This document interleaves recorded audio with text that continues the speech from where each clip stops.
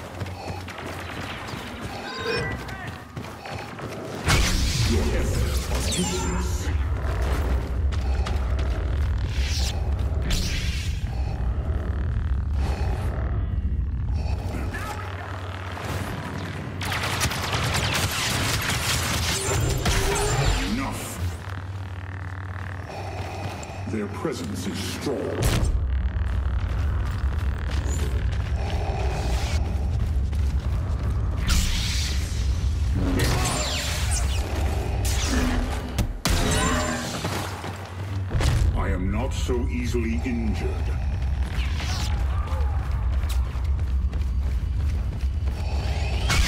These are the fruits of truth.